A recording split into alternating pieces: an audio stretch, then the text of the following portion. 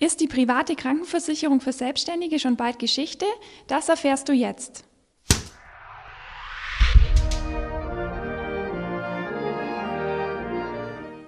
Es zieht sich ein tiefer Graben durch die deutsche Parteienlandschaft so kurz vor der Bundestagswahl.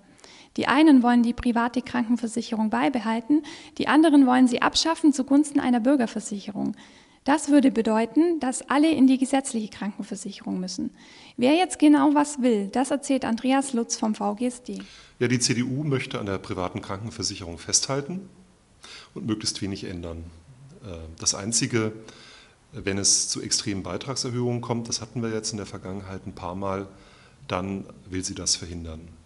Die FDP hat eine deutlich größere Reform geplant. Dadurch würde dann ein Wechsel in eine andere private Krankenversicherung möglich. Der wäre dann auch nicht so teuer wie jetzt. Das würde den Wettbewerb im äh, PKV-Markt erhöhen. Und ähm, man könnte dann auch, so der Plan der FDP, in die gesetzliche wechseln.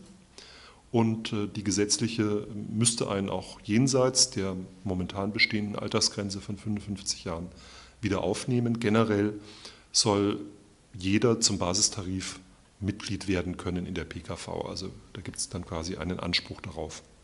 Soweit die Position der FDP.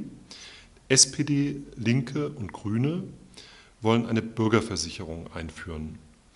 Ähm, eine Bürgerversicherung, das bedeutet letztlich, dass alle in die gesetzliche Versicherung äh, müssten und die privaten Krankenversicherungen wären damit ein Auslaufmodell könnten dann vielleicht ähm, private Krankenzusatzversicherungen anbieten oder sich in eine gesetzliche Versicherung umwandeln.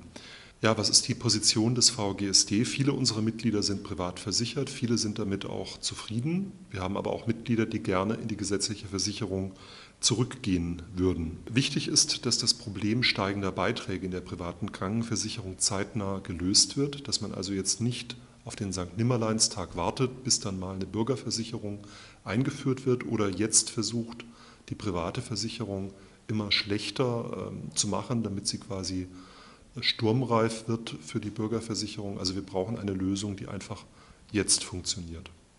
Wenn ihr noch mehr spannende Videos rund ums Business von uns sehen wollt, dann abonniert doch einfach kostenlos unseren YouTube-Kanal.